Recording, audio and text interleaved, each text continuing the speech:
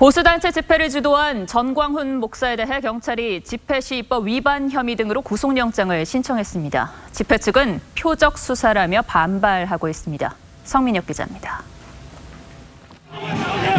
지난 개천절 청와대 앞 태극기를 든 집회 참가자들이 폴리스 라인을 밀칩니다.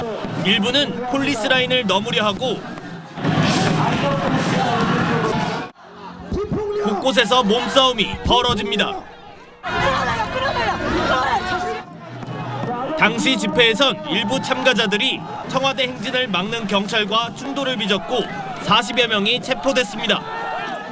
경찰은 이를 주도한 혐의로 전광훈 목사 등 3명에 대해 오늘 전격 구속영장을 신청했습니다. 압수수색과 현장 체증한 자료가 근거가 된 것으로 보입니다.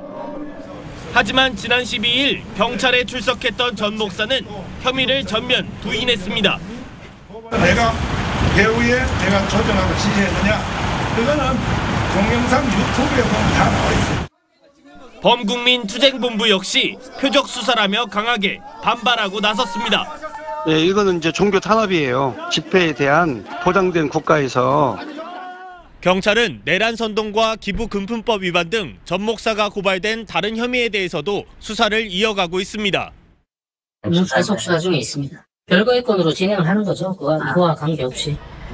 경찰은 다음 달 4일부터 범투본의 청와대 사랑채 앞 집회도 금지한 상태입니다.